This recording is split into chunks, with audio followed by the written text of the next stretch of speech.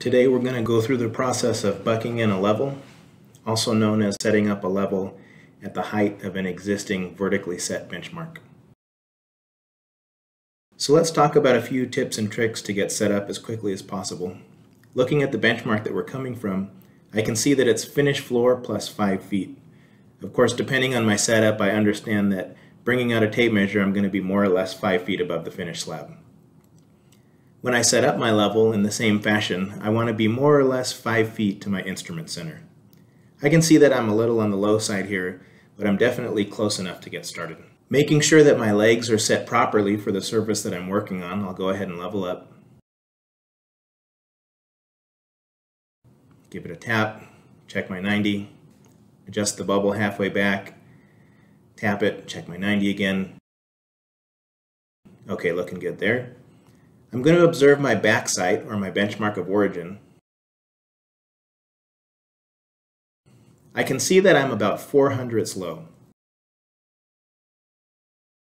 When I make my adjustments, until I get under a hundredth, I'm going to make the adjustment to all three legs. So if I'm about 4 hundredths low, I'm going to adjust each leg up approximately 4 hundredths.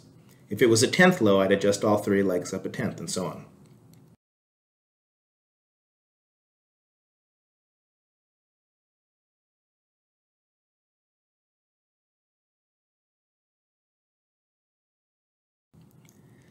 Level up again, check my 90, looks good. I'm going to look at my target. Okay, now I'm about 2 thousandths high. Well, now that I'm under that hundredth, I'm only going to make an adjustment to one leg, and I'm going to make an adjustment of double the distance of my height difference. So if I'm 2 thousandths high, I'm going to adjust one leg down 4 thousandths. Yes, this is all approximate and by eye or by feel. Adjust the bubble again.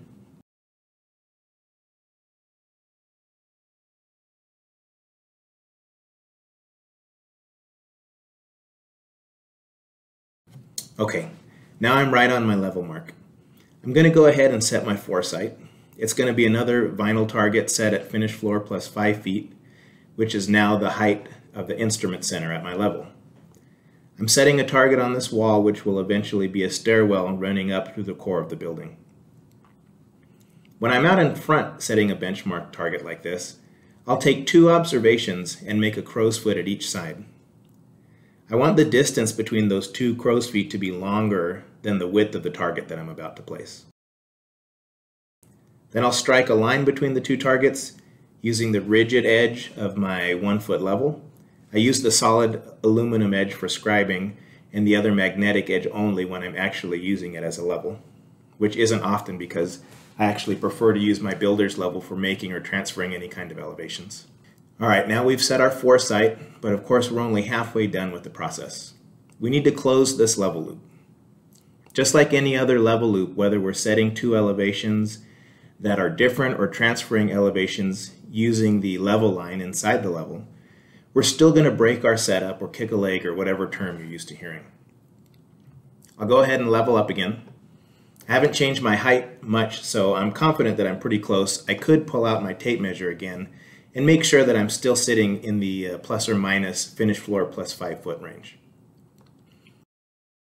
On this setup, I'm about 2 hundredths high, so I'll adjust all three legs down the 2 hundredths.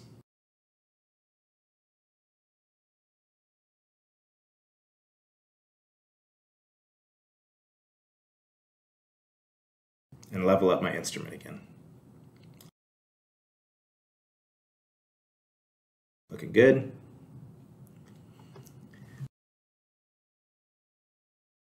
Okay, I'm about a thousandth high, so I'll adjust one leg down twice that amount, or two thousandths.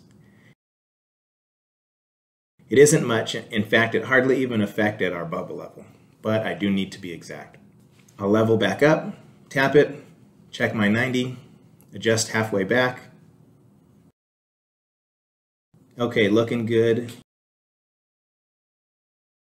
And I'm there. Now my new target is the back sight. I'm theoretically creating a new height of instrument, and then I'm sighting my foresight, the original benchmark, to close my level loop. I should be looking exactly at the center of the target, And I am. So I've closed a successful loop. Not only did I transfer an elevation using the bucking in method, but I've gone through the correct procedure and closed my level loop back to the point of origin as a verification. Now that we've resolved our level loop, I can place my new vinyl target. Before we place the target, we want to make sure that the concrete is nice and dusted off. Probably even a good idea before you place your marks so that you don't wipe them off with your broom.